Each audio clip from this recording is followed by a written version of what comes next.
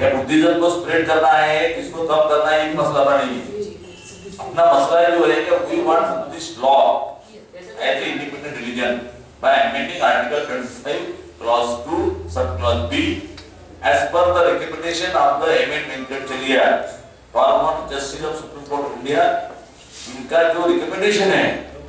it had a constitutional sanctity because it was established by the government of india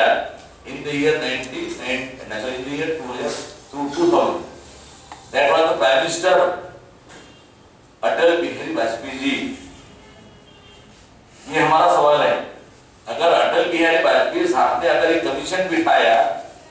सरकार का जनता का हज़ारों करोड़ रुपया खर्च हो गया पच्चीस महीने काम चला विज्ञान में और फिर वो कमीशन का जो रिकमेंडेशन आ रहा है सरकार को कमीशन बता रहा है कि ये जो बुद्धिस्ट लोग जो बन चुके हैं भारत में 1956 में by expiration of doctor Baba Saheb Ambedkar ये जो लोग बुद्धिस्ट बन चुके हैं, ये बुद्धिस्ट जो बने हैं, वो हिंदू धर्म से जुड़े नहीं हैं। इनकी कल्चर ही अलग है, इनका फेट अलग है। 1950 में ऐसा एक फेट था कि Lord Buddha is the incarnation of the Lord Vishnu that was the fate in the 1950 that time the constitution was making इसलिए बाबा साहब ने बताया कि हम हम जो बुद्धिज्म स्वीकार कर रहे हैं, उसमें बुद्ध भगवान की कोई फेट नहीं है।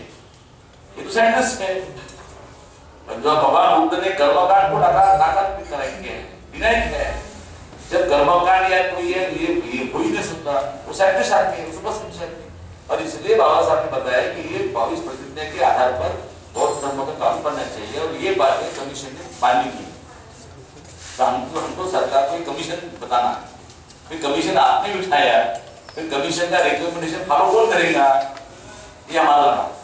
और इसलिए अगर कमीशन कमीशन के रिकमेंडेशन होने के बाद अगर सरकार नहीं मानती है देखो उसमें तो रणनीति किस हो गई कंटेंट पिटिशन भी और चालू है जो दो हज़ार सोलह में